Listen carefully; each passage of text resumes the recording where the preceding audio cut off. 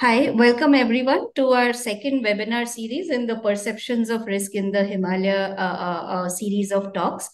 Uh, before I give an introduction, I'll invite Tejaswini Niranjana to say a few words and then I'll get back to describing the webinar series. Hello, everyone. Uh, pleasure to have you all with us uh, for the second of this series on risk perceptions of risk in the Himalayas. I'm the director of the Center for Inter-Asian Research at Ahmedabad University. Uh, we have a number of series running at the moment. Uh, and this is, uh, again, is going to be a very popular one, I can see. Uh, we have a wonderful lineup of speakers for the year. Uh, do go to our website to see the list of speakers and also to check out the other offerings we have in terms of webinars and also in-person events. In fact, we hope that this one, uh, which is part of our Himalayan Asia initiative, is actually going to be an in-person workshop uh, by the end of 2024. And the credit to all of this goes to Suchismita Das, my colleague, uh, and to Neil, Kumar, Neil Kamal Shapagen. I don't know if he's here with us, Neil. Um, and uh, they're the ones who coordinate the Himalayan Asia activities. Welcome to our speaker, Aditi Saraf, and Suchismita will now do a more proper introduction. Thank you for being with us today. Um, thank you, Tejaswini. So welcome again, everyone. As I said, I'm Suchismita Das. I'm an assistant professor at Ahmedabad University and a fellow at the Center for Inter-Asian Research. I am broadly an environmental anthropologist, primarily working in the eastern Himalayan state of Sikkim. So I began to think about risk as a concept through my recent ethnographic work, which looks at infrastructure collapse being precipitated by recurrent landslides and thereby examining forms of vulnerability that emerge at the intersections of development aspirations, climate change impact, and the cultural politics of the frontier region. So uh, then in conceptualizing this webinar, what we aim to do is to bring together researchers from different disciplines working across different regions in the Himalayas to reflect on how the, the notions of risk and allied terms such as crisis, vulnerability, disaster have been constitutive in shaping the materiality, geopolitics, cultural articulations, and the history of the Himalayas. We had our first talk by Dr. Shubhra Sharma, which is up now on YouTube. And in that, I go into a little bit more detail of uh, about the scope of the webinar. So I'll not repeat myself here. You can check out our YouTube videos. Um, if our aim is to historicize, to denaturalize the concept of risk, and to ask about its implications in shaping the life worlds, the politics, the imaginary of the Himalayan region, we could not have had a more apt speaker than Dr. Aditi Saraf. Her ethnographic exploration of risk as a practice that traders in Kashmir are imbricated in astutely opens up larger questions about state sovereignty, about histories of trans-regional commerce that do not square with national cartographic or economic boundary making, about everyday experiences of political vulnerability as well. So we are glad that today we get to hear a part of her very generative scholarship in our uh, webinar series. In today's talk, drawing on her fieldwork and archival data from com colonial commercial regulations, Dr. Saraf explores how trade is an important field in which and through which political power is expressed and contested, she will discuss how historical exchange communities and their credit practices that evolved in facilitating long distance trade now face the risk of criminalization and how such risks are being navigated in the face of increasingly stringent territorialization measures being undertaken by the state. Uh, Aditi Saraf teaches at uh, teaches cultural anthropology at Utrecht University. Her research investigates entanglements between commerce, sovereignty, and ecology in the Kashmir region, more broadly, she is interested in questions related to economic and political anthropology, frontiers and mobility, militarization, and placemaking practices. Her writings have been published in uh, The American Ethnologist in Economy and Society, the Oxford Research Encyclopedia of Anthropology, and also in other accessible sources such as the Caravan magazine. So with this very short introduction, I will now turn it over to Aditi and uh, hear her talk for the next 40, 45 minutes. Welcome, Aditi, and thank you for agreeing to be a part of this series. Uh, thank you so much for inviting uh, me to speak today. Um, thank you especially to Satvik, Tejaswini, to Neil, who I haven't met yet, and above all to you, Suchismita, for you know organizing everything long distance. I'm really excited to share my work with all of you. Uh, can everybody hear me or and see the screen, the first slide at least? Uh, I can only see Suchismita, so. Um, Is all is everything? I think everybody else is muted, but uh, it seems like okay. Yes. If, okay. Yes. Okay. Chat. Okay. okay. Great. Um, so, as Suchismita mentioned, I'm a sociocultural anthropologist and I combine ethnographic and archival methods to research the intersections of commerce, sovereignty, and ecology in the Kashmir region. Um, and the perspective that I explore today is a political economic on risk. The, the category of risk that I um, explore today is a political economic one. Uh, now, for market economists and more generally in the economist, risk refers to the measurement, management, and the reduction of uncertain outcomes in order to maximize returns, right? This is the standard uh, market economics uh, definition.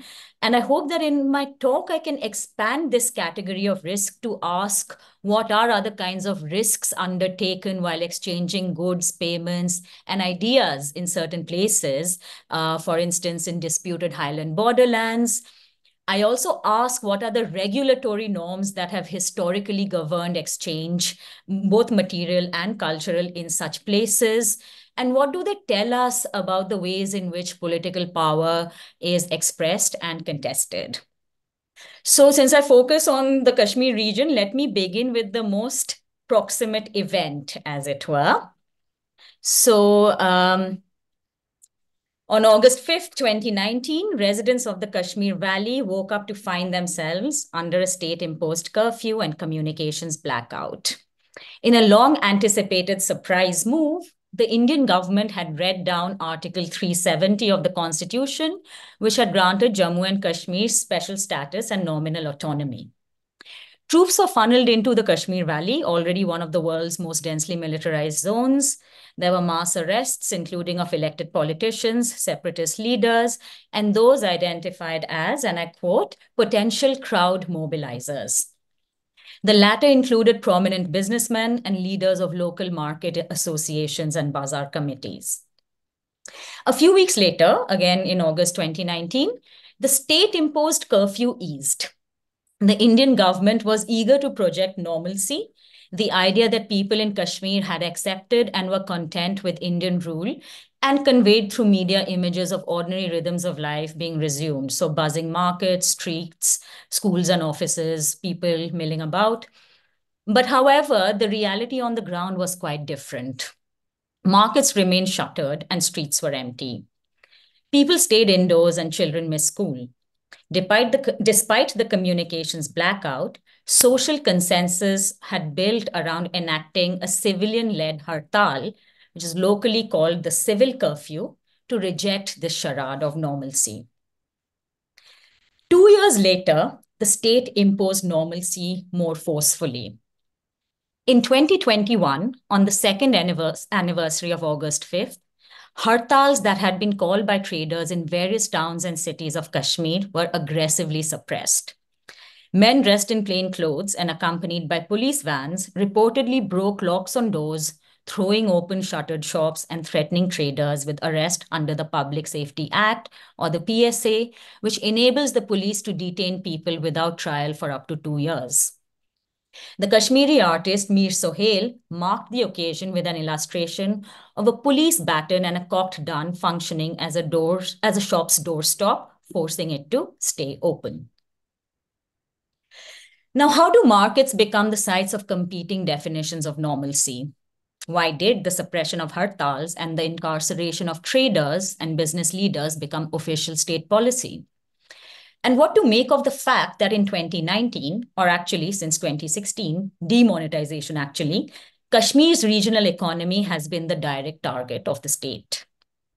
While the removal of rights to own and sell land from permanent residents is widely perceived as the most devastating aspect of the 2019 ruling, other forms of local economic organization, uh, most of which I actually followed during my fieldwork, have also been targeted, such as cross-LOC trade and informal credit practices.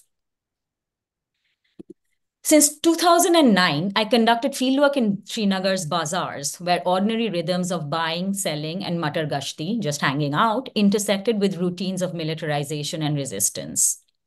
Bazaars were public places, visible arenas for protests, barricades, but also the repairing of frayed social relations. Their built environment bore signs of political violence. Bullet holes peppered facades, dark broken windows betrayed buildings that had once served as torture centers, and resistance graffiti appeared on peeling walls.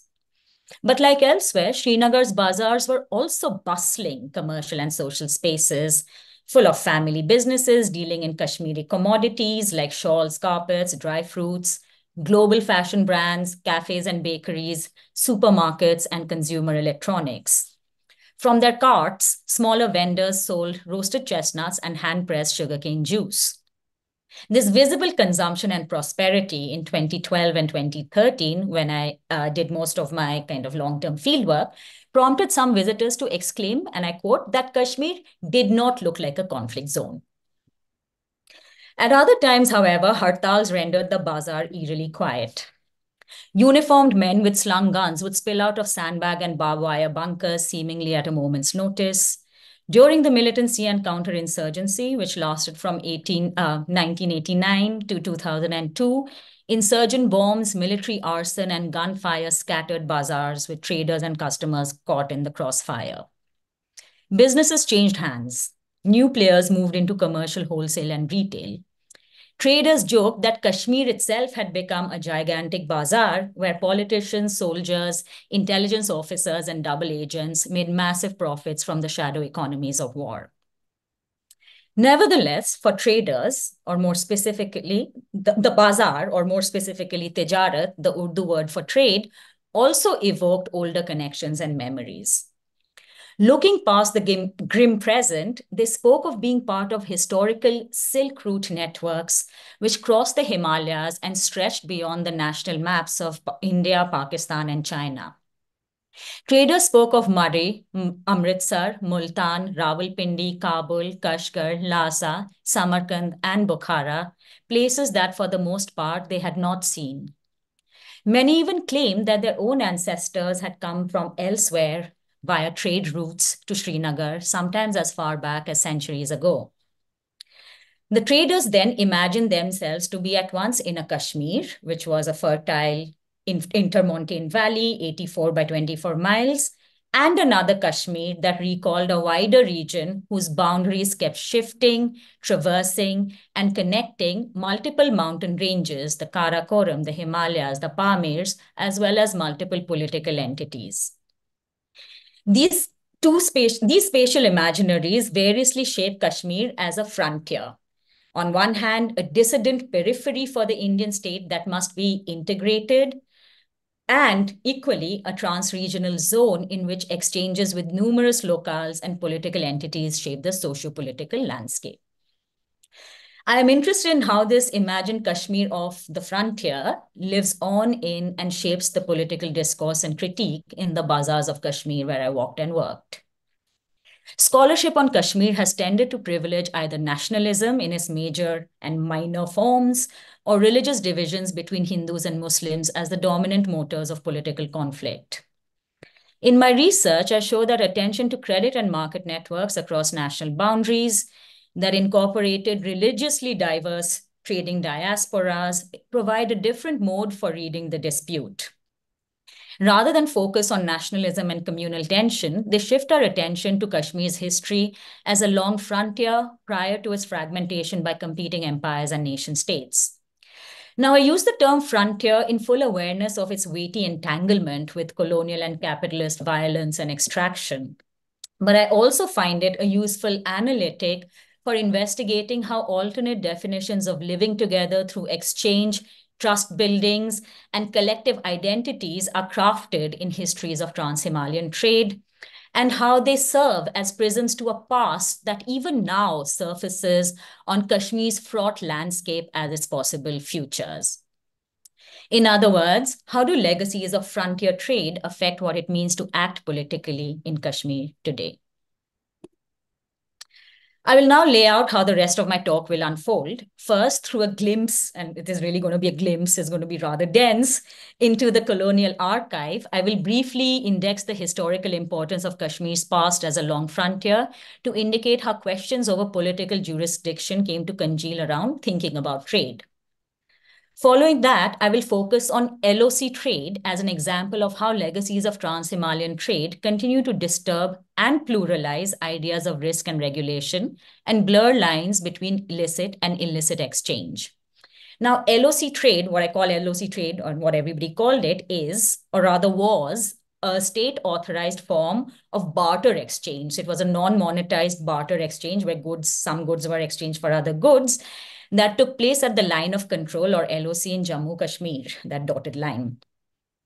Inaugurated in 2008 to foster quote, people to people contact. LOC trade was suspended in April 2019, so just a few months before August 5th, on grounds of being misused to move drugs, weapons, and counterfeit currency from Pakistan.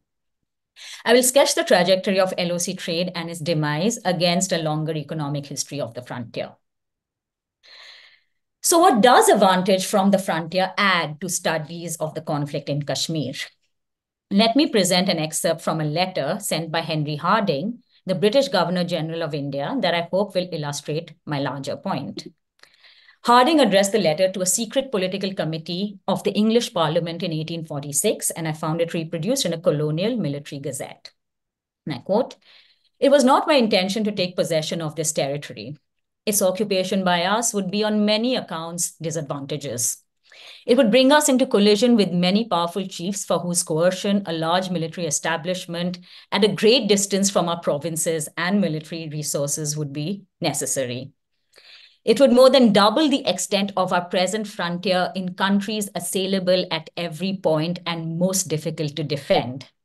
Races of people with whom we have hitherto no intercourse would be brought under our rule, while the territories, excepting Kashmir, the valley, are comparatively unproductive and would scarcely pay the expenses of occupation and management.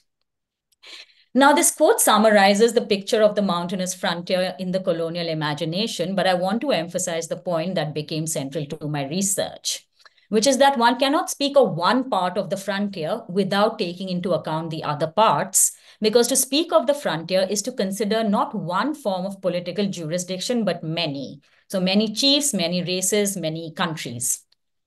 The frontier terrain is evidently non-uniform and non-unified, although it appears to have a web-like consistency. I suggest there is precisely the web of trade networks that connect the seemingly discrete parts of the frontier. An important point here is that the frontier is not a place that cannot be politically governed because clearly there is political jurisdiction of a multiple and overlapping form. How to manage and control that form is precisely what becomes the crux of Henry Hardinge's anxiety. And so the East India Company that governed India before it officially came under the British Crown declined to occupy the frontier and instead sold it via the Treaty of Amritsar in 1846 to their ally in the Punjab Wars, a Hindu chieftain called Gulab Singh. Gulab Singh, Gulab Singh became the first Maharaja of the princely state of Jammu Kashmir, the largest under the British Indian Empire. The three primary districts of Jammu, Kashmir, and Ladakh that comprise the state, alongside several smaller tri tributary chiefdoms, were and indeed still are in themselves ethnically and culturally distinct. They had been yoked together, apparently, to preserve the networks that sustained trade in what was once the most prized commodity of the region, the toponymous Kashmir Kashmiri shawl. The eastern district of Ladakh was annexed precisely to secure control over the mountainous route through which wool from the highland goats of the Changthang region in Tibet traveled to the center of shawl manufacture, the city of Srinagar in the Kashmir Valley. After partition produced new borders, three wars over Kashmir divided the lands of the former princely state into regions controlled by India and Pakistan, with various lines of control, these dotted lines all over the map, serving as the de facto political and military limits of jurisdiction. These lines are very rigid and very belligerent, despite and because both nations claim the region in its entirety through different framings. Now, because of Jammu Kashmir's post-partition trajectory, I began my own research in 2009 by following the direct effects of state violence expressed in the human rights movement around disappeared persons. But as my own work began to interweave with the lives of friends and colleagues, my attention shifted from the activist networks that I had gone there to study to spaces and processes that sustained everyday life and relations. While I was conducting preliminary fieldwork in Srinagar in the summer of 2010, the Azadi movement took on a renewed sense of urgency with massive public protests that began with the news of an extrajudicial or encounter killing of three young men from Baramulla who were lured to the LOC with the promise of paid work and killed by soldiers who then tried to pass off their bodies as militants in order to collect cash bounties. Civilian protests continued from June to September in 2010.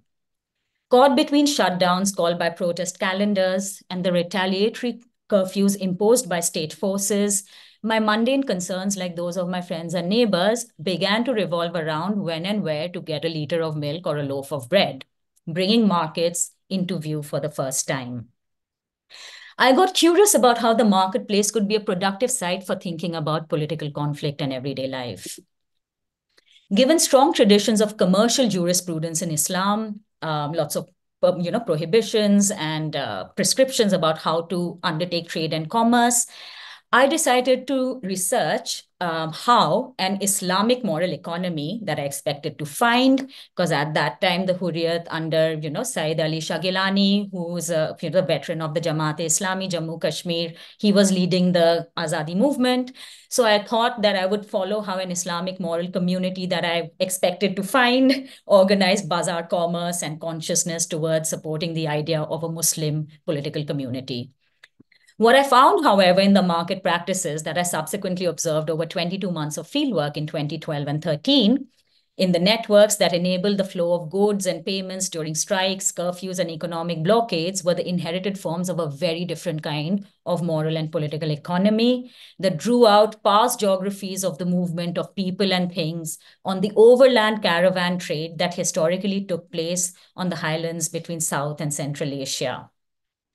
The long-standing intractability of the Himalayan terrain with its cardinal points, as it were, mapped out by Hardinge as distance from the center, unmapped vastness, countless warlike chiefs, and generally unproductive landscape, meant that state presence in any form was historically tenuous and contested.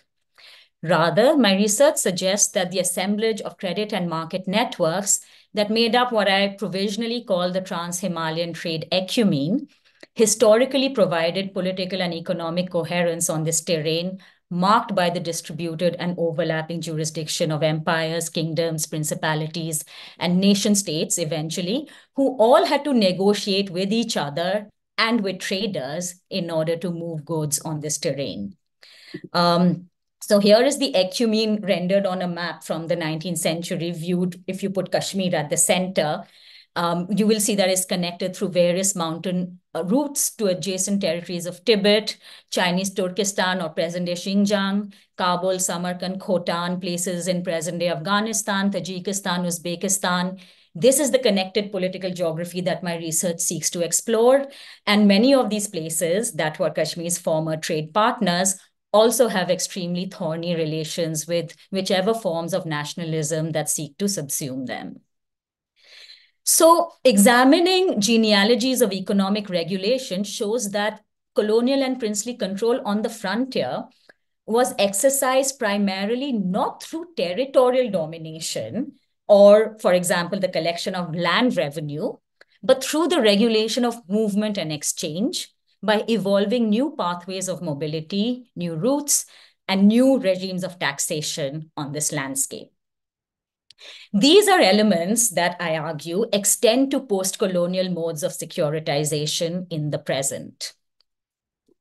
If, as anthropologist Timothy Mitchell has argued, that in the 20th century, the economy came to mean a self-contained totality of monetary exchanges within the defined space of the nation state, then borderland economies are inevitably messy because historically they're entangled with exchange communities that transcend the defined space of the nation state. This carries a specific sting in Kashmir, not least because it once formed part of ethnically diverse, interconnected, and mobile webs of trans Himalayan trade, which are now cut off by extremely hostile and militarized lines that enclose and confine movement and exchange. Cutting, blocking, and criminalizing exchange networks are made into a condition of national integration. More so now than ever, when exchanges considered unruly from a particular status perspective are being intensely targeted justified by ideologies of transparency and inclusion, security and anti-corruption, digitization and the ease, ease of Paytm, this has as much to do with supplanting certain exchange communities by others. And this is not something that's happening only in the borderlands, but has actually moved into the mainstream to enclose and concentrate capital in fewer hands. So scholars speak of, and I quote Nilanjan Sarkar over here, they speak of and I quote, extraordinary levels of economic centralization and corporate consolidation currently ongoing in India. It hmm. thus becomes essential to politicize certain processes being put in place under more benign sounding terms like financialization and digitization. Now that brings me to the next part of this talk, where I look at a specific slice of this process by examining LOC trade. Now, LOC trade was a peculiar form of cashless barter trade that was instituted on the line of control in Jammu Kashmir as a confidence building measure or CBM. In IR, international relations uh, speak parlance, uh, CBMs are part of track two diplomacy to foster contact between non-state actors and to manage conflict outside official channels. I will reflect on LOC trade and its peculiarities by coming to it through a discussion of two categories. One has to do with risky circulations, and that is credit, and the other has to do with regulation, that is customs. By credit, um, and I'm using credit because my interlocutors always use the English word credit when they spoke of such transactions. Um, I mean informal commercial credit that some people have called, and I'm quoting Ajaz Ashraf here, a uniquely Indian way of conducting business. Trust-based informal credit forms an important basis for capital and commodity circulation in the bazaars of South Asia, and several economic historians, as well as economists, have worked on this. Broadly, they comprise promissory payments, that is, not immediate payments, for the purchase of high volume goods that are then settled according to vernacular timelines and practices. While keeping the bazaar in motion, informal credit systems are also regarded with acute suspicion outside their networks of circulation because these networks of circulation are personalized, right? They're from direct contact. In Kashmir, this suspicion acquires another layer because of the associations of informal credit with Hawala transactions that are generally viewed as channels for black money that fund terror activities.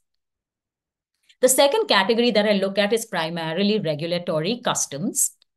By customs, I mean taxes imposed on goods transported across international borders that is levied on the import and export of goods, right? So there's the whole kind of customs um, you know, authority that operates at airports to kind of uh, survey, to keep, keep an eye on this. Now, customs taxes have a particularly interesting history in Jammu and Kashmir, particularly, especially when it was a princely state under the British Raj.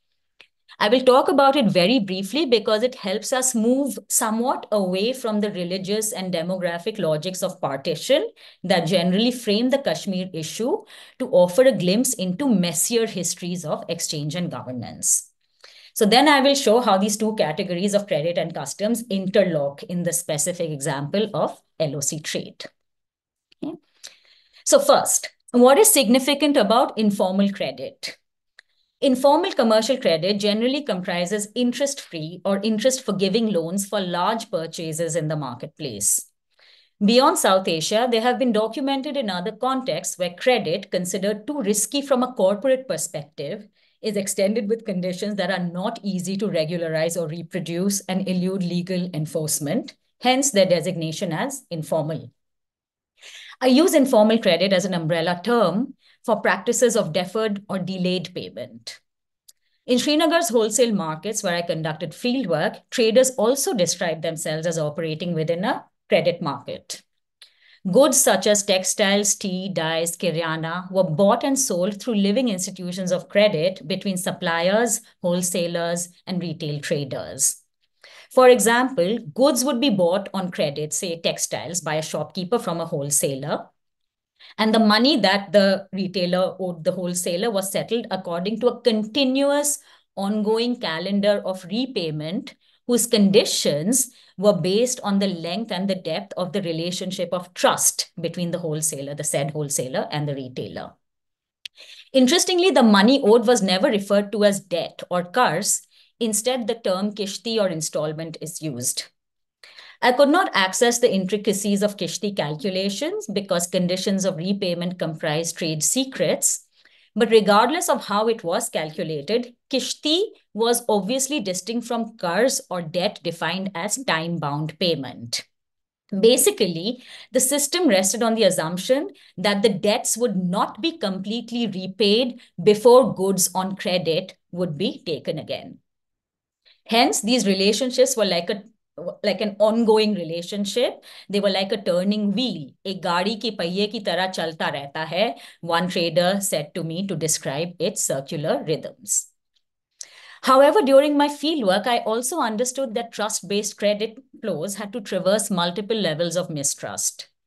Newer traders trying to break into wholesale trade viewed old credit relations as forms of clientelism, incompatible with modern, modern commerce, if not suspiciously close to forms of speculation forbidden under Islam. Regulatory officials, tax officials saw informal credit facilitating wealth flows that eluded taxes without, despite being in circulation. So Barbara Harriss-White has actually suggested that turning a blind eye to this kind of tax evasion has constituted a time-honored form of state subsidy to traders, which is of course now also withdrawn by tighter GST laws. The idea that such informal credit systems don't leave a paper trail and therefore cannot be transparent, which is not entirely accurate, underlies many of these suspicions. And because of the political climate around Kashmir, any unaccounted for sum of money, however mundane it can be, can become vulnerable to hawala accusations. Now, while the term hawala conjures all kinds of threatening images, black money, terror funds, the literal meaning of hawala is quite tame. It means simply to transfer. Fundamentally, it entails the transfer of money through a network of brokers or hawaladars, which is often glossed as money transferred without the movement of cash. Now, this is not cashlessness as defined in the language of digitization, but a form of deferred payment, kind of like informal credit. Um, the basic structure of Hawala is as such. And I really love this image because I realized later that I found it on a link apparently on howtovanish.com. But I didn't know that at that time. It's really a very simplified uh, kind of structure, breakdown of the structure. So for example, client A in Delhi transact, uh, transacts with um, broker or Hawala A in Delhi in order to transfer money, say to her sister in Bombay. So broker A in Delhi calls broker B in Bombay, who gives the required money to the intended recipient or sister. Then Hawala dar's A and B settle accounts between themselves. Now, this is the basic structure, but these payments or these settlements can involve many formal and informal financial instruments in lieu of immediate payment in cash. For example, post-dated checks, indigenous bills of credit and remittance, such as promissory note, notes known as hundi, and of course, hundis printed on stamp paper are legally negotiable.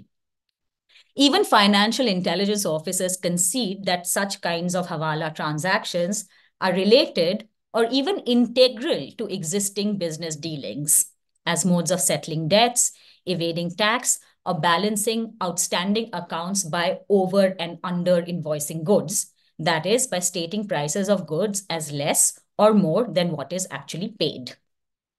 These adjustments are made in personalized networks, and the resulting inscrutability produces anxiety. However, as Marina Martin has argued, both Hawala and, and Hundi are interrelated and interchangeable systems that point to indigenous systems for financing long-distance trade and integrating far-flung markets. Evidence from colonial archives and oral narratives emphasize the centrality of such informal credit to trans-Himalayan caravan trade networks in which Kashmir was an important regional node. These systems allow traders to move goods over risky desert and mountain landscapes through raids, through avalanches and over high mountain passes without having to carry large amounts of money on their person. At present, no trader in Kashmir ever refers to their credit transactions as hawala, and therefore they use only the English term credit. And during fieldwork, I made sure to never utter that word around my interlocutors. However, a conversation in Delhi with an elderly widow from a Punjabi Hindu or Khatri family um, that was once based, uh, that, that was a trading family that was once based in Peshawar in the Khyber Pakhtunkhwa region of Pakistan, revealed an important dimension of Hawala in trade. When I questioned her about the difference between Hundi and Hawala, she said she did not know what Hundi meant, but understood Hawala to be, and I quote, direct person-to-person contact using code words. I'm quoting her now. Hawala means trade and direct person-to-person contact. I remember goods coming into Peshawar on the back of camels. At that time, traders used codes, codes with each other to communicate how many petis, which is the Punjabi word for lakh, the goods were worth. This code was Hawala. It was personal, but understood by those within the trading community to enable trader to trader contact, but sometimes also through middlemen. So how did something that signify complex trade networks and negotiations become such a sinister stereotype for black money? that is a story that I will not go into today, um, but I'm happy to, you know, address it during Q&A if you want. Elsewhere in a different paper, I show how the 1991 Hawala scandal in India and the global war on terror had much to do with stigmatizing this term. Um, but now I will move from circulation to regulation, from credit to customs, with special reference to the princely state of Jammu and Kashmir under Dogra rule. Now, taxation under Dogras was notoriously extractive, uh, particularly the high taxes levied on shawl weavers and the infamous compulsory labor or begar that was extracted from people in the countryside were key issues of both, or key causes actually, of both distress as well as dissent. Customs taxes, however, that were imposed on the princely states' borders was central to the princely purse and princely rule in Kashmir in a different way.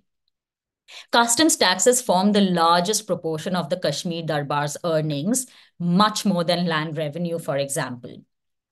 And the right to collect customs duties was an important aspect of princely sovereignty exercised vis-a-vis -vis external powers. So, for example, in order to enable the tax-free movement of trans-Himalayan caravan traders and goods from Central Asia to British India through the princely state territories. Now, the colonial government, the British Raj was really obsessed with like doing trade with Central Asia, right? There was almost like a fabulous account that you might remember. For example, those of you who have read uh, Rudyard Kipling's Kim, you know, that starts with the account of these Afghan traders and Kashmiri traders all kind of negotiating on singing, you know, sitting around in the caravansarais of Lahore. And of course, these traders were also, you know, uh, participated not just in exchange, but also espionage with these like fabled, in these kind of inaccessible lands and fabled wealth of Central Asia. Um, but um, but so the British government was very keen to enable the tax-free movement of goods through you know the uh, through the princely state into the Indian provinces. But for that, in order to forgive, uh, in order for the princely state to forgive the traders' taxes, the British Raj had to annually reimburse the entire customs amount to the Maharaja. Um, so when an so this was so important that when an Indian Federation of Provinces and Princely States was first proposed by the Government of India Act of 1935, the Hindu Dogra Maharaja, Hari Singh of Jammu and Kashmir actually declined to join it since it would mean that the Darbar would have to surrender the right to collect customs at its borders and allow free passage of goods to the Indian provinces. His decision surprised colonial officers, as it might contemporary Hindu nationalists, who assumed that the Hindu Maharaja would be, I quote, for communal reasons, a starter in the federation states. Hafsa Kanjwal writes that Sheikh Abdullah, Jammu and Kashmir's first chief minister after the end of Dogra rule, had also been adamant in maintaining customs duties after 1947. These were eventually removed by his successor, Bakshi Ghulam Muhammad, in 1954, who came into power when Sheikh Abdullah was put in jail. Now, against this history, LOC trade becomes really interesting precisely because its protocols revolved around the exemption rather than the collection of customs duties. So what exactly was LOC trade and how did it come to be? In 2008, following escalated protests in Kashmir around the Amarnath land transfer controversy, and uh, the economic blockade imposed from Jammu, a state-authorized form of cashless barter exchange was instituted at the line of control in LOC. During the protests, several marches had been, and during the economic blockade, several marches had been taken out to the LOC with slogans expressing the intention to break it and the right to trade with the other side. Following on these protests, LOC trade ostensibly sought to manage conflict through trade between LOC East and LOC West. However, protocols applied to LOC trade had to ensure that the LOC did not get cast as an international border, which is something unacceptable to both the governments of India and Pakistan, as well as to people in Kashmir who did not consent to a divided homeland. Cashless barter thus emerged as a regulatory idiosyncrasy agreed upon by all sides, India, Pakistan, as well as Kashmir's business leaders, primarily to avoid vexed questions around customs taxes and who would pay it and for what, questions that would normally apply at national ports of entry. So, to deflect customs taxes while allowing exchange, the standard operating procedures decreed that a limited list of locally produced goods, for example, almond, uh, badam, almond, namda rugs, willow bats, etc., would be exchanged through barter trade only, right? So goods would be exchanged for other goods without money changing hands. And because LOC exchange was crafted as barter in local goods, no money changed hands and no taxes were paid and no customs therefore needed to be levied. I began fieldwork in Srinagar soon after cross LOC trade was inaugurated. While most traders did not buy into the fiction of trade creating peace, LOC exchange was a long-awaited first step of making connections across their divided homeland. Bazaar talk, talk would often turn towards the topic of LOC trade, with excerpts read out from local newspaper reports passed down the row of shops. These reports carried lively details of conflicts that arose due to its bizarre protocols, such as around bartering non-local commodities like green moong, garlic, and bananas, sparring between the security forces of India and Pakistan, and cross-LOC scuffles between traders over balancing payments in a non-monetized context.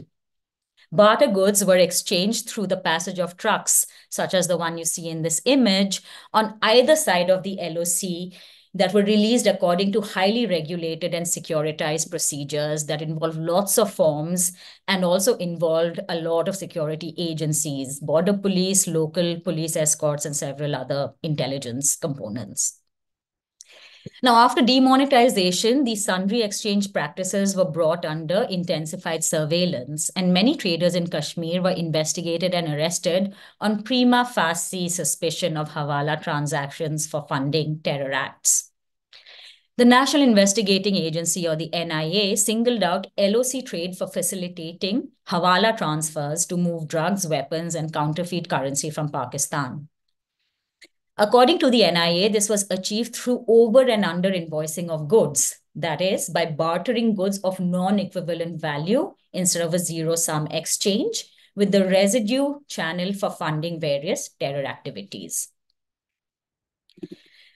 Now, my own conversations with LOC traders between 2013 and 2018 provided a very different context for this dubious financial anomalies reported by the NIA.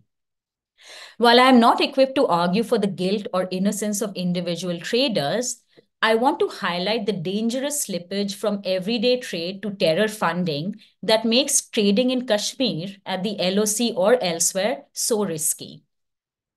So one LOC trader emphasized that the most common reason for under or over invoicing in barter trade was simply that because to make profit, they had to make multiple transactions before eventually settling accounts with trade partners from the other side. Since profit depended on capitalizing very quickly on price differentials of bartered goods. For example, if I were to barter miswak for almonds, they would be very differently priced but it would mean a certain kind of calculation that you have to capitalize very quickly on. Um, the balancing of accounts between traders on each side working in a cashless framework was secured over long periods of forecast and equivalence. This entailed multiple exchanges over a long period of time. While formal documents recorded non-equivalence of the bartered goods, asymmetrical exchange or over and under invoicing were precisely forms of informal credit. There were investments in long-term ongoing trade relationships in which accounts were settled only later and which were constrained uh, by the cashless protocols of a militarized bureaucracy. At other times, financial irregu irregularities produced by the procedural intricacies of LOC trade, um, at other times, sorry, financial irregularities were produced precisely by the procedural intricacies of LOC trade. So for example, traders at the LOC took turns sending their trucks according to a roster system. Uh, because of the heavy security, only a limited number of trucks could ply on any given day. So the more active traders often bought others' position on the roster on a profit sharing basis. In one case, I was told the unaccounted money that was assumed to be a Hawala transaction was simply payment received by the trader for selling his turn on the roster to a more active trader, a routine irregularity leveraged by LOC traders. Now, I present these snapshots to track the gap between the legal transcripts and the mundane lives of informal credit and the distinctive positioning of Kashmiri traders within this space. These indicated that what gets called hawala in these circumstances are affordances that permit cross-border transactions and in fact are often produced by state-crafted artifacts for managing conflict. This is not to deny the alterity of informal credit or to romanticize it. Rather, it is to acknowledge that in their past and present capacity to facilitate economic transactions between historically salient exchange communities that are currently separated and criminalized by militarized borders, Hawala poses a much more complex challenge to the state than what is revealed in the language of law. In Kashmir, territorial integration has always been closely associated with economic integration through aid packages materialized in Kashmir's massive debt to the central government and its characterization as a begging bowl.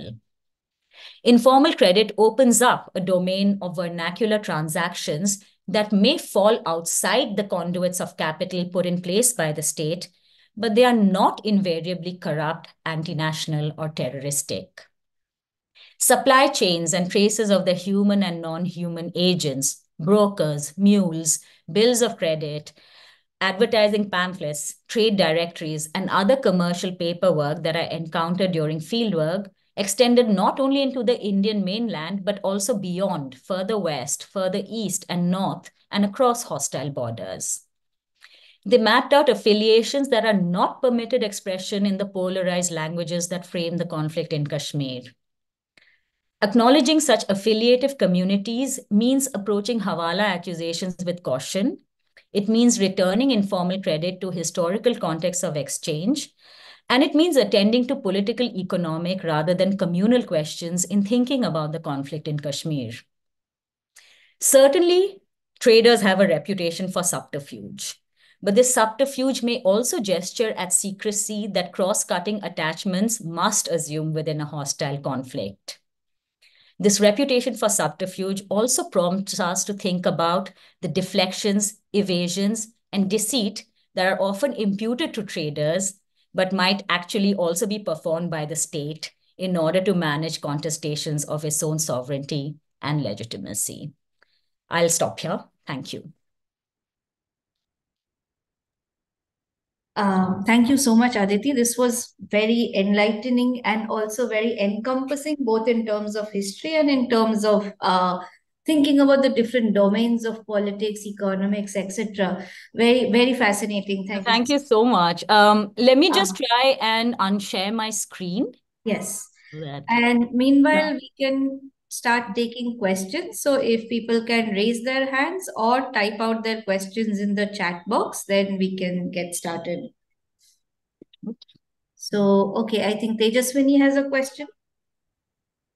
Uh, okay, uh, maybe we'll wait for the screen to be unshared. Oh, you were stop. Uh, One sec. This should work. Thank you. Yeah. Okay, so to be uh, unmuted. Uh, okay, so uh, can the host please unmute? Yeah, I'm unmuted. Okay. Uh, this is not really a question, but just uh, uh, you know, a, a comment of like deep appreciation for your wonderful talk. Mm-hmm. Um, I've actually been reading not on this period, but on a much more ancient period. I've, for other for another project, I've been looking at 2,000 years of movement across mm-hmm. the Trans-Himalayan region, say from Kashmir to China and parts beyond. Mm-hmm. And so this is really fascinating to think of the names that I evoked in that Trans-Himalayan region, to mm. find them taking on such a contemporary uh, valence, if you like, mm. was for me extremely fascinating. Uh, and I really loved it. Um, I think that this uh, refocusing on uh, political economy and the idea of the Trans-Himalayan region uh, is very much in the spirit of what we try to do at the Center for Inter-Asian Research that we are not stuck with any uh, form of methodological nationalism mm-hmm. like ends up happening in say international relations for example. Not to like you know uh, belabor the point but you know you also mentioned that right? Uh, and in doing so what do we lose? What do we not see uh, what and what are the many intricate processes uh, concerning all these questions that we're also bothered about uh, how do they um, you know in, in some sense display themselves mm-hmm. before us I think that you've showed us methodologically how that's possible. And uh, we really look forward to uh, more work by you and more interaction with our center. Thank you so much, Aditi. Thank you so much. Thank you so much, Tejaswini. I was also really surprised because you know I went into Kashmir without expecting because it's so it's it's such a overdetermined uh, place and is overdetermined by certain languages. So I was very surprised, for example, to find Punjabi Khatri traders operating out of downtown Srinagar, seeing these like fragments that I couldn't place them. I couldn't place them in the languages that were already kind of overdetermined. Thing it was only after going to the archives that I was like, oh God, these are commercial regulation, you know, exchange histories that have continued for thousands of years, but are also very much present. There there are kind of ways of expressing different ideas of place and different ideas of governance and different ideas of self and sovereign governance basically. So yeah uh, thank you for that. And i think i've been reading a lot also of these histories of exchange but they all make them sound like this is the past and this is nostalgia. And i want to be very clear in my work that this is not nostalgia. I don't even want to romanticize it. Like traders and markets are neither of them are like kind of you know domains of freedom as such but they are domains for different expressions of geographies different geographies and sovereignties so thank you. Yeah. Hmm. Uh, thanks, Aditi. So we have a question by Mr. Bashir Ahmed next. So uh, we can unmute uh, Satvik, please. Yeah. Uh, please. Hello.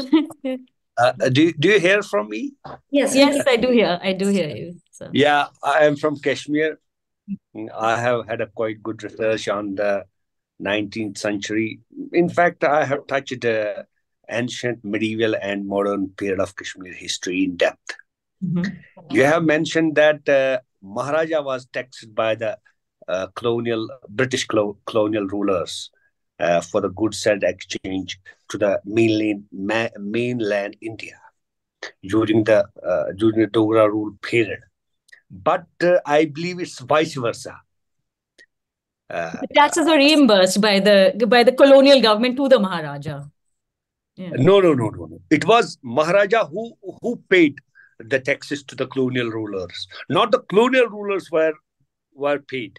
Uh, in fact, it was vice versa. You told that colonial rulers, uh, the, the the East India Company paid uh, to the Dogra rulers for the freight of the uh, commodities uh, which they passed through the uh, uh, Trans-Himalayan valleys, especially through Kashmir Valley. Uh, they didn't pay. The English people didn't pay. In fact, Dogra was a, Dogra was uh, paying annual annual uh, what do you call annual taxes to the to the English people uh, instead. Oh, no, actually, I mean, from what I could gather from the um, from the uh, trade corridor, this was on this was uh, on the trade. There was a particular corridor that was carved out to enable the tax-free goods. The Dogras did pay the British rulers. They paid them tribute. They paid them to buy the lands of Kashmir.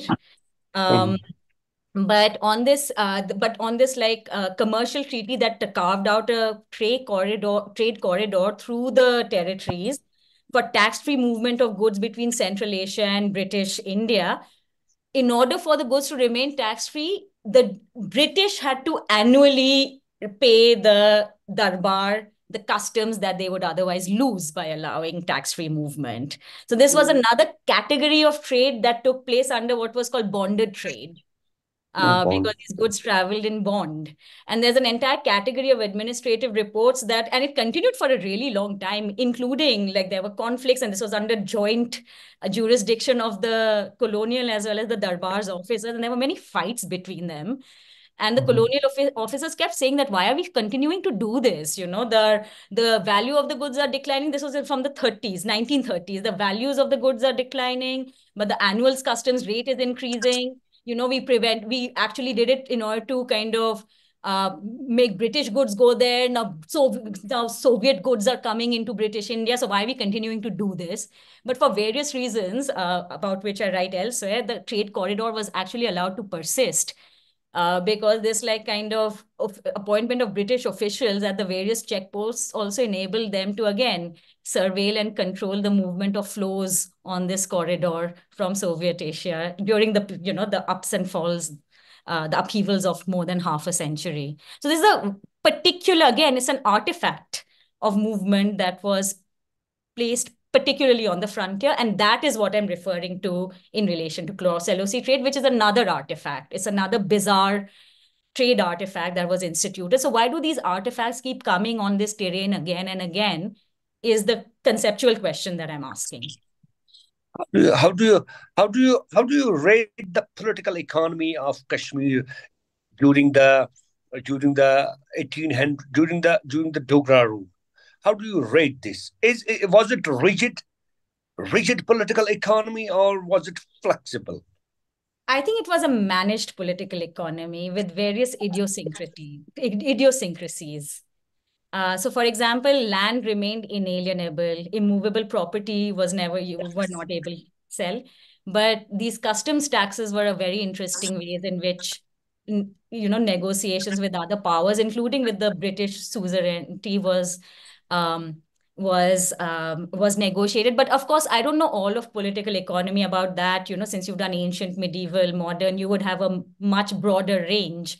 I'm interested really in looking at these connections between present day. I'm an anthropologist, so I kind of study what I see through participant observation and connecting them to these histories. So that's the way that I look at the history. I don't have the, you know, kind of the long, long... broader, broader, broader uh, spectrum. That's right. Uh, uh have you read the recent paper uh, on retracing the realistic disaster scenario of Kashmir Valley I'm trying to follow it, but yeah, I mean, I, I mean, some of it is also so I, nobody knows what's happening after the horrible things that happened uh, with. No, no, no. I'm talking about the Dogra rule. Oh no, I did not. No, no, I haven't read the papers on Dogra. You better read that. It will help you a lot in your um, in your.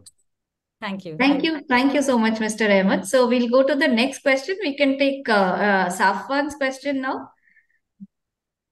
Uh, thanks, Suchi. Uh, hi, Aditi. Thank hi. you for a wonderful talk. Uh, I, I missed a couple of questions right before mine, so I'm not sure if this is uh, a question that I'm repeating. Mm-hmm. Uh, so, two questions basically. One, you spoke about the invoices. I was wondering, how do they maintain multiple registers? Uh, so, what is it? Is it does is it a book format? Because I know uh, for some reason many many of these traders are you know just obsessed with books and and the written you know it's literally written Mm-hmm. there's no excel sheets or there's no concept of excel itself so that was one question the other is uh, i mean i i, I deal with uh, malabar and muslims over there. Mm-hmm. uh, and i was just wondering uh, how does the muslim navigate this hawala part? Because it's it's a huge thing even in malabar. Uh, so what is the ethical bit over here? So so how do we even understand the ethical over here? Because i i see the muslim interlocutor actually engaging with say what we call or what we understand as smuggling in a very ethical manner. I mean they think that that is part of uh, the very essence with which that they should move about. So so Mm-hmm. how do we understand that as anthropologists? How, how do we even uh, find vocabularies that will then you know sort of give that meaning of what the ethical is over here etc so so that's that's something that's really been uh, on my mind and i thought it would be wonderful to listen to you Well, thank you so much for the question. The truth is, I'm also thinking about it, right? Because what, how are, A, the one thing I want to make sure is that these are not like kind of old ancient systems that are bound to be taken over by capitalism. They have always kind of moved in very sophisticated manner with modern financial instruments and things like that. What distinguishes them is that their regulatory norms, their exchange community, that they move between personalized networks of trust. And this is trust, which is looks completely different from what it looks like in the banking regime, from the financial digital regime. And a lot of the fights that, a lot of the kind of targeting of the informal economy basically means, I mean, they're basically forms of dispossession that want to take out capital. I mean, if you look at it from a very like political, like you might have different commitments about what should or should not happen with something like the economy. But what this is, what a lot of these laws uh, that are put in place by the state are kind of means of extracting capital from these networks and concentrating them in others, right? And making space for other forms of capital. That's one. Um, so in some ways, I think that the way they commit the, the the way A, it's criminalized. It's criminalized by being painted as something black, right? And that has been a long discursive process. So if you look at, for example, the last uh, kind of report on these informal economy. So Hawala for me, in that sense, is any kind of informal credit transaction, right? And they take different forms in different networks, whether it's the Chettiard, whether they oscillate between, move between caste and kin networks or cross them. And the interesting thing in the Trans Himalayas is that they often cross them, these informal credit networks. that happen between Punjabi, Khatris, Kashmiri Muslims, Sikhs, so on and so forth. Um, but if you look at the uh, the last thing that I saw was the Banking Commission report from the 1970s, and that is really quite neutral about the way they speak about Hawala. It hardly comes up in the kind of they talk about informal credit, and then in 1991 the Hawala trans, and I write about uh, I write about the Hawala case in a different paper where I try to look at these questions that you asked me called financial superstitions. And I remember being eight years old in 1991 and wondering what, but asking my parents, but why is Hawala such a bad thing? And nobody could explain it to me. Right. And that case continued forever and ever. And I think that case, the Hawala judgment uh, that was made in 1998, was kind of instrumental in kind of both opening up these practices for increased surveillance but also improvising so that you know so that certain named politicians could be let off the book. And this was done through very technical means. Uh, so this is a constant problem. So when i ask financial intelligence officers like when does informal credit becomes hawala they joke. They're like when it goes bust you know as long as it's running smoothly it's not a crime.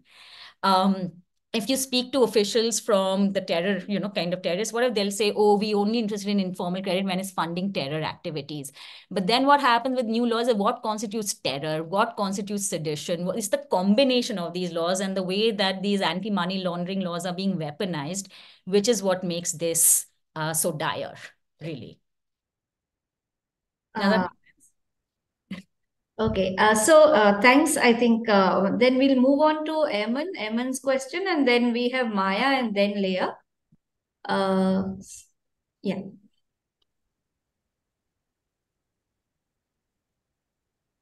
Um, hi, Aditi. Um, I'm Eman. I teach anthropology and sociology in uh, JMI New Delhi.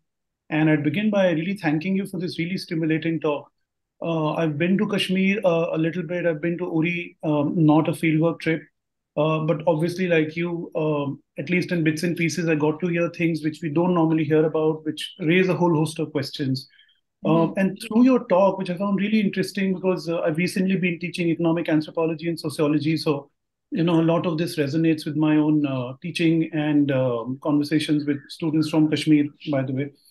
Uh, but through your talk, I detect these at least three dualisms, uh, which I think, uh, um, uh, which I mean it as a, compliment perhaps, uh, because of what you're trying to grapple with. So, you know, even in my research, for instance, which is not on markets, etc., we keep coming across this dichotomy, this dualism between something called the state and obviously by implication something called society. Mm-hmm. Um, and through your talk, for instance, I could see that uh, uh, for you know um, uh, whatever reasons you invoke the state as a monolith. Uh, um, and uh, so from examples that one has known of for instance i would have liked to perhaps have more uh, details about what is it that you call the state in you know specific ethno-historical locations. Uh, so for instance from kashmir i know that there are lots of trees being cut down uh, and that's not only Kashmir, of course, that's you know all the mountainous regions. It's now well documented. It's obviously an environmental crisis at this point. Uh, but the way to transport the, those trees is through Rashtriya Rifles um, uh, army trucks because nobody's going to stop them. If the police stops them, you know there's going to be violence of some kind. Um, then, of course, there are these very well-known uh, incidents of uh, uh, you know all kinds of favors being carried by you know terrorists or all kinds of illegals uh, uh, via intelligence bureau and so on. The most famous one is, you know, well documented. A.S. Dulat has written about it in public. Um, um, you know, the most famous is Sayyid Salahuddin's son, who got this seat in this medical college because Dulat had a word with Farooq Abdullah and so on, and now the son is out. Um, the third, for instance, is when you speak about the state, I am immediately thinking of all these Kashmiri Muslims who are often pretty high up in the police. Uh, so the reason I'm bringing, let's say, these three uh, uh, very obvious um, kind of uh, public, um, um uh, you know, information here is what exactly do we mean when we keep invoking the state? Uh, so are we going to include these Muslim Kashmiris within the state? Is it just, you know, GOC commander? What is it? so what happens if you're looking at actual trade practices? Who's involved? Um, again, apoc- apoc- apocryphally, um, the Abdullahs and so on, you know, like most politicians, they have all kinds of money stored away. Um, uh, in the neighboring state of Punjab, there's Amrinder, you know, it's folklore now, you know, he's involved in the drug trade. So I'm bringing all this up to just drive home the point that, you know, what is this phenomena that we keep easily labeling the state? Uh, and what is it that we are trying to uh, understand here? Uh, which is why your later uh, material about this uh, uh business of undervoicing and invoicing is so fascinating for me. Uh, and it's so useful to think with because the thing that really comes through is that here is this empirical reality, which is represented by these, let's say, forces of order as a distortion.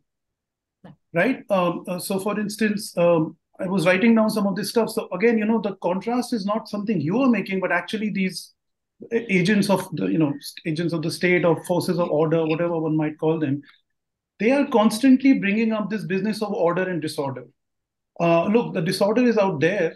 We are the rational people. Uh, so you know you have this interesting discussion about hawala but actually hawala turns out to be something which is very mundane. Mm-hmm. uh, now you see this kind of dynamic as so integral to the process of nation uh, state formation uh, so I, get, I guess I just leave you with something which I'm, which is obviously something you've been thinking about, is that who is this purging of categories being done for? So, so the NIA, hmm. the NIA guys know what's going on. The NIA know much more than you and me, I'm sure. That well, it's very mundane. It's these networks which have always existed, and yet in those particular moments, post 2019 or whenever, uh, this can be fit into the character uh, into the category of illegality, terrorism, all kinds of you know things which are against the state. So everybody knows what's going on, and yet this reality needs to be produced as a purge category between legality, illegality, state, society, and so on. So I guess I leave you with a question. No, my question is, you know, is perfectly well taken, and I use the state. I, the way I use the state is also to obscure more than rather than stating something. I mean, a the state form, which I take to mean particular, uh, specifically. I don't mean it at the same time with sovereignty. So my question, my larger question is that how do these conversations around Ray around uh, trade express different ideas of sovereignty and what constitutes legitimate rule? Um, and seeing them around the practices of trade and tracing their history about how practices of trade were also uh, provisioning, not just control regulation, but also provisioning were also practices of sovereignty is one way of looking at it. But I'm absolutely in agreement with you that the state form is a just like traders, they're shape shifting and changing form themselves, right? Which is why there's also really interesting thing. And not just that, the state, because traders were also informal diplomats, there were a bunch of other things.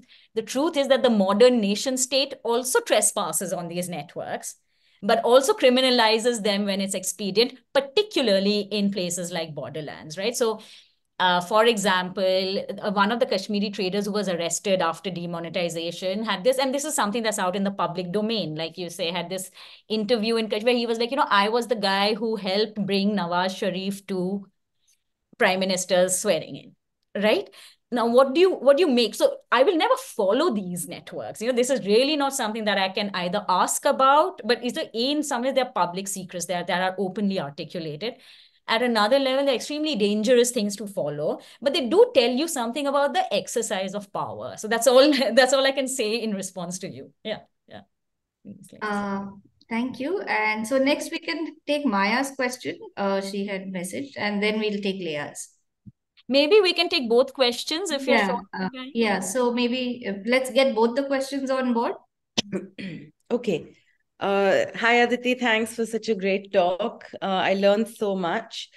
Um, so actually, the uh, the ex Eamon's question and your response. So this is sort of a little bit um, uh, perhaps uh, piggybacking or amplification on that only because I was just thinking along with you, right? As I was hearing, um, and to me, what it seemed like was that your work is such an interesting um, rejoinder, sort of, to um, James Scott kind of exactly um, analysis of you know the politics of the ungovernable or whatever. What is the politics of the Zomia is the Zomia, Zomia. politics, the yeah, so, deliberate rebels from the state and things like right, that. Right. Yeah. So that there are topographies and exchanges across topographies and forms of kinship trade network formation that um, explicitly and intentionally evade the state form.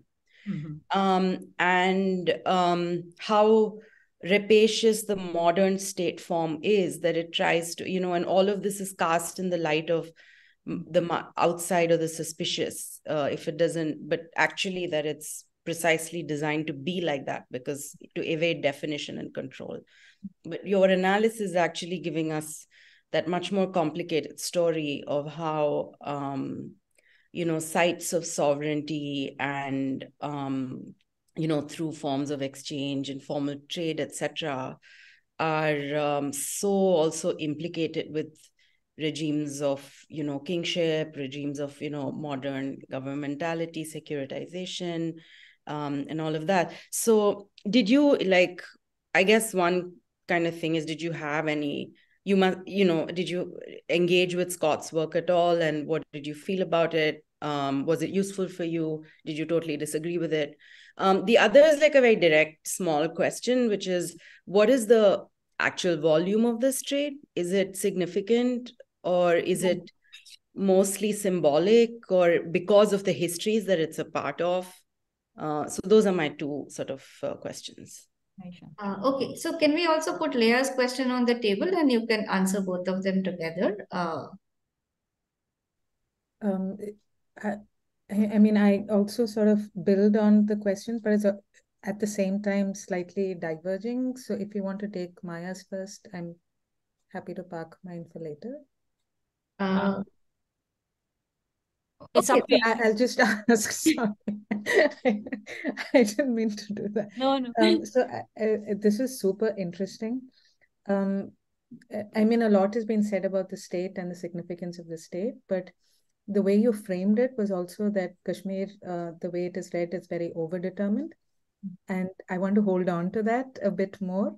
Um, and if you could speak a little about um, the caste or community networks, you sort of talk about it in passing and also mention at one point that that uh, there's a crossing of networks that you know there are different caste communities perhaps so if you could speak to that a little mm-hmm. and if at all um, gender masculinity was something that you um, looked at um, I, I, remember reading this um, i think it was filippo osella who wrote about masculinity and trade traders in kerala yes yeah. exactly so social responsibility and all that right Okay, thank you. Thank you for those questions. Actually, all four of them are really kind of both yours and Maya's questions are very important conceptual kind of frameworks that I had to grapple with. So, uh, very quickly about Scott Zomia, right? And I write about it in that, uh, you know, the encyclopedia, research encyclopedia essay that I have on frontiers, right? That this idea of the Zomia, and of course, they're the highlands, and the highlands have typically been these like kind of spaces where anthropologists seek order outside the state, right?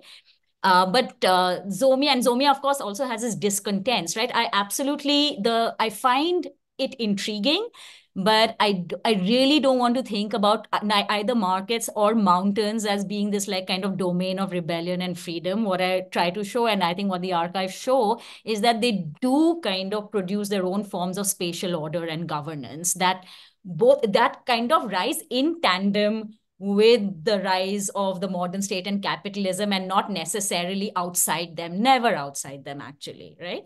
Um, so that is my critique. I mean, I find it a very, I mean, I'm, it's a captivating idea, and I think politically it's a useful idea, but it's a concept. I don't know how much empirical uh, grounding it would have anywhere. And most importantly, I think what Zomia is as a concept is that kind of brings to life the different political and empirical commitments people bring to the study of such spaces.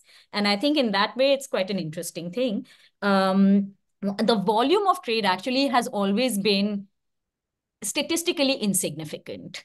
Uh, on the mountains, but symbolically completely overloaded, whether it has to do with narratives of what has been called the great game, uh, whether it has to do with LOC trade, whether it has to do with the trade corridor, where really one of the interesting questions is that, and especially in uh, comparison to maritime trade, like, okay, if the statistically or economically in the modern sense, if it's so uh, like kind of insignificant, why are people talking about it all the time? That was actually one of the questions that kind of provoked further exploration. Um, for uh, uh, to respond to Leah very quickly, uh, as everywhere else in South Asia, def so and this is also kind of combines with the thing on gender. The bazaar was a is a very male space, and I didn't realize how difficult it would. That was actually the hardest part about doing field work in 2012, 2013. I did not realize uh, being like whatever Delhi born and raised, just how hard that would be. It meant completely. It also meant that because uh, first it was training in a certain form form of deportment. Uh, I felt very few women who were in the marketplace. Most of them were replacing uh, kin who had been incapacitated or killed during the militancy. They gave me some strategies. Yeah, I had long conversations with them, but I was mostly among men and mostly among older men. Um, and uh, it also meant that I had to curtail my uh, kind of interactions, with, not just with the kind of sociality over tea and cigarettes, but also with younger men and also with the bazaar labor or mazdoors who were kind of, you know, who are always there and kind of engaged in like kind of tasks of lifting, storing, carrying, transporting, but I had to uh, curtail my relationships with them. So I write about that methodologically. It meant that, it meant that most of my regular interlocutors were older, well-positioned, more respectable traders. Uh, and also what kind of pushed me to study the archives and focus on commercial paperwork because people would not talk to me all the time. So it was also this kind of um, but in terms of caste and community, and you know, I think Amit Kumar, who's at Azim Premji, has done really interesting work on that. So obviously, there are caste divisions in the sense what you know Kashmiris call Peer Muridi, you know, the Saids and the Peer, and then there are, you know, the houseboat owners who are like kind of lower. But unlike, and this is something that I'm uh, kind of citing from a talk of Amit's that I went to, he says, but for example, you'll see in like North, in the North Indian plains, you'll see like the Julahas and the you know, the various Muslim castes will have different mosques That's not true in Kashmir. All of them would go to the same places of worship and things like that. Uh, so he has done very interesting work on these castes, and particularly in the more like kind of longer handicraft based things like shawl weaving, wood carving, and all, where I think these networks um, for like market knowledge and supply chain matter more. Um, but I was interested more in like the everyday local provisioning. But so I though obviously I spoke to some handicraft dealers and all. Mostly I was looking at this clothes, kiryana, that kind of thing. And that is a little more diverse. Like these are family businesses, but there are also newer traders who had also moved into retail after 1989. Many old people had also moved out. So it was also a transformed terrain. But so it's there, but it's not there in the same way that it is in North India, say, for instance. Um, maybe I'll use my discretion and ask a few questions myself before turning it to the two people who have raised their hand. Uh, so one of them was ethnographic in terms of this uh, cross-border trade, which is barter, which then uh, has to entail what you explained in the Hawala people who are not exchanging money but going to settle their accounts. So, what is the relation across the LOC between these particular brokers and maybe invoking your uh, the paper on trust, where you this this would I assume entail some sort of trusting relationship across what has now been uh, uh, a boundary. Uh, so how does that operate? What is the sort of everyday mechanics of that was one question. And the other was about uh, maybe following Leah in terms of the actual genealogy of the traders themselves. And you evoked in the beginning that there is this imaginary of the traders as people who in some ways are cosmopolitan, imagine themselves beyond the beyond the contemporary nation.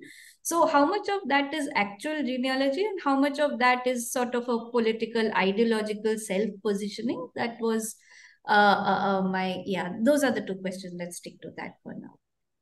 Thank you. Um, cross LOC trade, of course, is a different kind of art. art uh, you know, it's uh, it's kind of distinctive in the sense it takes place completely away from bazaar as a public space in this highly securitized border area where normal forms of haggling that would be the mainstay of the bazaar become criminalized and kind of with suspicion of cross-border violence.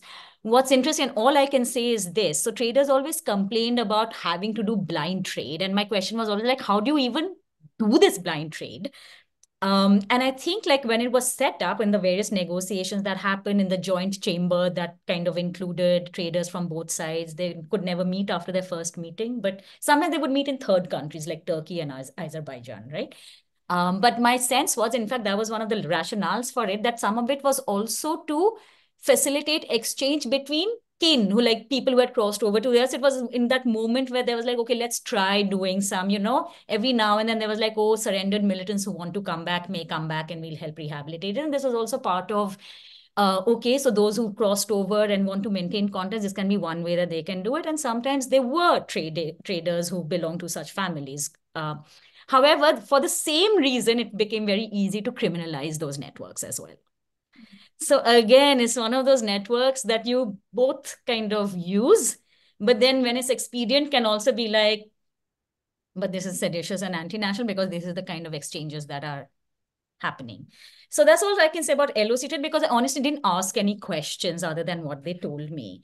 Uh, but this, again, to come back to Leah, so this genealogy question is actually really interesting because I expected, given how male the space of the bazaar was, I, I expected there to be much more of a masculine ideology. For example, Paul Anderson writes about masculine ideologies in the Aleppo bazaar, you know, before the revolution, where, you know, patriarchal authority, control over sons, a control over credit networks, you know, is a way of like establishing your trustworthiness and your reputedness what I discovered really early in the bazaar while speaking to traders that they were really reticent to talk about their families and to talk about their households and who I thought this would be like one of the more innocuous questions, but they really did not want to talk about family histories so much, except to say that, oh, well, you know, my ancestors came from Bokhara. Many of them spoke about sons. Many of them spoke about, so it, uh, part of it is also the larger thing about war. Like many of them spoke about sons who had left and having no one to pass the business to or fights bit with their cousin when they used to own a business. But actually, these genealogies were much more fractured in very interesting ways. Um, and I don't know what to do with that actually. Thank you. That itself is quite telling. So yeah. uh, uh, let's get the last two questions together, and then uh, I think those are that is all we have time for. So Nishta, yeah. Thanks, Aditi. That was such an informative and enlightening talk. Uh, my question draws a bit on my fieldwork, which I just completed in Munsiari. Mm-hmm. And uh, there they followed the Mitra system, which was between the Indo-Tibet border region. Oh, wow. Uh, okay. Hmm and uh, it wasn't it's it's dissimilar from Hawala in the sense that it was the two mitras trading with one another and then going into the markets. Mm. Uh, but I'm very curious because you spoke a lot about the spatial and political disruptions, but I'm also curious about the temporal disruptions, which and how people manage that because uh, in uh, in Munsiari, what happened was that 1962 becomes a very significant turning point because that's when a lot of the trade, the value transfer is disrupted and lost for a lot of people that's never recovered. And so in these kinds of systems where the transfer isn't immediate the temporal disruptions uh, in some cases they equally are stabilized against immediate market forces. But in other cases when especially the state disrupts that temporality uh, that completely disrupts the system itself. And then how do the traders sort of handle that? So i was wondering if you have uh, if you've thought about that in relation to your work I'm sure you have. I just like know. no, thank you. And Prince, let's get that question also.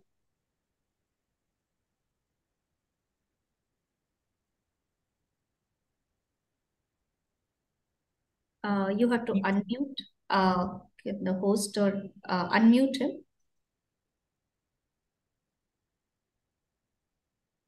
Uh, maybe Aditi, you want to answer this question till we figure the unmuting? Okay. Uh, yeah, um, thank you for that questions. Absolutely. And the temporal uh, the temporal disruptions are so many, right? Like 1807, the fall for the demand of shawl, uh, the the Dogra rule, then the uh, 1947, 1959, actually for Ladakh, um, it's really interesting. The blocking of the Tibetan, the Tibetan occupation was hugely um, momentous and a bunch of Yarkandi traders were trapped like literally trapped overnight in Kashmir. They're still called. So the old, uh, this trade corridor sarai that I was talking about earlier, the old building, the old like kind of sarai is still called Yarkand Sarai in Srinagar because that's where those traders stayed. So they never saw their families again. So they married, you know, Ladakhi women and things like that. So that was a big disruption because again, all over this trans-Himalayan trade, 1989 was a big disruption, but in um, Kashmir, the start of militancy is also traced by traders to the breakup of the Soviet Union and various self-determination movements happening in Central Asia, which is something you don't hear about in the mainland, right? So Azerbaijan and all. Then Kabul, uh, 1989, the invasion of Afghanistan. So there are many temporal disruptions uh, that both blocked certain things and provided other kinds of affordances. But you're absolutely right that that is very much there's certainly a temporality to it as well, which is not necessarily a, a linear time, but a question of like, again, circular, almost like those credit networks. Thanks. Uh, okay, Prince, can we try again uh, to unmute you? Yes, can you guys hear me? Yeah. Perfect. Uh, hi, Aditi. Thank you so much for the presentation. It was really engaging. Uh, my name is Prince Tomar. I'm a junior researcher at Tallinn University, Estonia.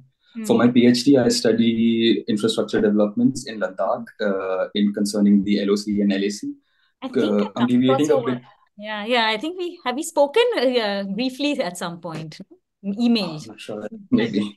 Uh, I'm sorry, I'm deviating a bit here, but could you please share anything about the uh, cross-border infrastructure that facilitated this barter trade uh, that might have come across in your research? The LOC trade? Yes. Uh, so there were these standard operating protocols, and there were two trade facilitation centers. One was in uh, uh, in the Jammu sector, one was in Uri in the Kashmir sector. And it was basically what I said, the movement of trucks carrying goods that would just stop at the trade facilitation center. I write about it elsewhere, actually, um, which was, so these drivers would come wearing neon jackets from the other side. Police escorts would, you know, accompany them and then work would be offloaded and then you i was there for only one day and i had to take permission you know to be there um and again i didn't ask many questions Um, but yeah, it was a whole border infrastructure. And then, of course, the Kaman Bridge, which is what joins the two parts, had also been curated as a tourist center and whatever thing. So it was this interesting combination of tourism, trade, connection. It was the only point of like official crossing on this ex on one of the most hostile borders in Asia. Uh, so it was very much an artifact. Like I said, it was very different from bazaar trade, but for that reason, very interesting. But we can talk more about it. I mean, I can go, I can keep describing what I saw, but I think that would take too much time. Yeah. No, thank you so much. This is good. Uh, thank you so much. And this is actually, all of it is very reminiscent of that brief moment when in Sikkim, the Nathula trade opened across yes. Tibet.